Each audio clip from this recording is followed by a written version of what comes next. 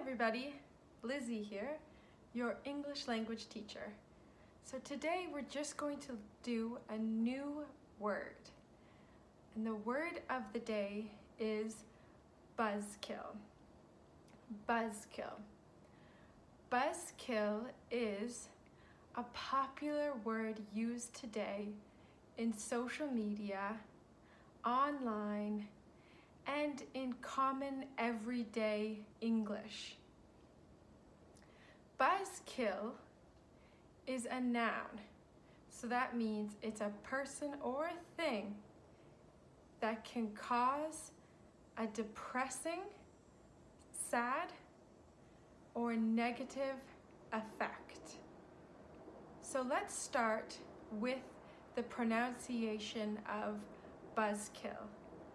Buzzkill is two syllables. Buzz, buzz, and then kill. Buzz like a bee, buzz, and then kill, K-I-L-L, buzzkill. So it is a thing or a person that can cause a negative or sad effect. So for example, a friend sometimes can be a buzzkill. So let's take for example, imagine you are very excited to go to a concert.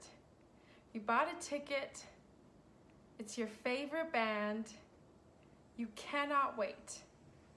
But then your friend comes over and tells you nobody likes that band anymore. They're not good. I only liked them when I was younger, but I don't like them anymore. And so all of a sudden, you were so excited to go to the concert, but now you're a little bit upset because your friend has just been such a buzzkill. So you could you could say to her, "Oh, you're being such a buzzkill. I was so excited to go to that concert."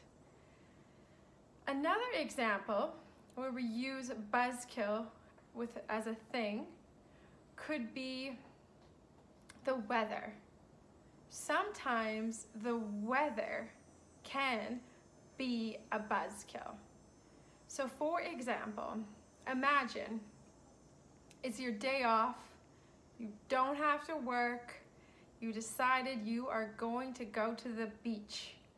You are going to have a beach day. So you get packed, you put on your sunscreen, your sunglasses, you're really excited. And then all of a sudden, it starts raining so hard, so much rain. And you realize that you can't go to the beach anymore. And you're like, Oh, what a buzzkill. The weather has been such a buzzkill because now I can't go to the beach. I hope this video has not been a buzzkill and that you enjoyed it. And I'll see you on our next video. Thank you and have a great day.